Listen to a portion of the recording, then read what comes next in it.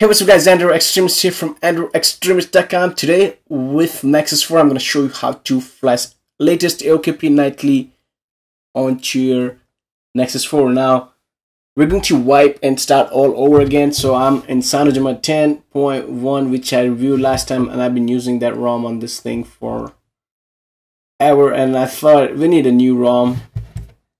Let's go ahead and see how much this guy download downloaded. Sure, it's not gonna finish. It's Paranoid Android gonna have another review coming up on that too. So let's go ahead and flash this ROM. Now if you have CyanogenMod 10.1 or any other custom ROM you're gonna have this option reboot. Oops. Hmm there's no reboot recovery options. Wow.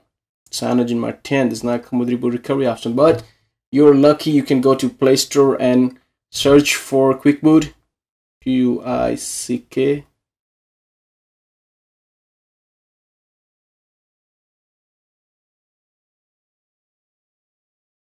right there quick boot and download the first application which is free and install. Once that is installed go ahead and press open and press nope go back. Press recovery and remember choice forever and allow. This will boot you into your custom TWRP or CWM recovery. Make sure you have those recovery and rooted phone in order to get this thing working. Yeah I, I don't think you need a root but if you have recovery then you're gonna have root as well.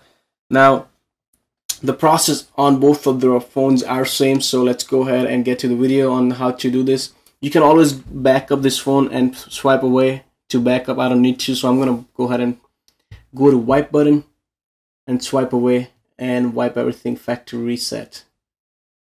As it says right there factory reset is completed. Go ahead and go back. And in this corner I'm gonna press the home button. I'm gonna go to install. Scroll down. If I don't see my ROM I'm gonna go to download. And here we go. AOKP nightly which was done tonight or yesterday night, whichever it is. It's dated today's 03. And it's gonna start flashing the AOKP as you can see.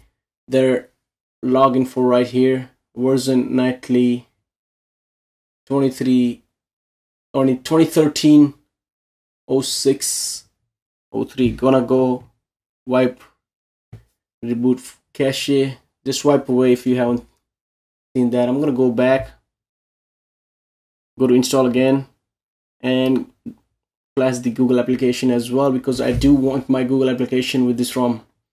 And in order to get that you need to flash GApps. Once you flash that you go ahead and press reboot system.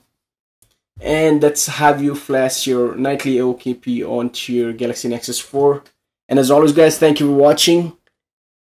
Like this video if it helped you and share it with your friends on Facebook, Twitter, and Google+. I will see you in the next video.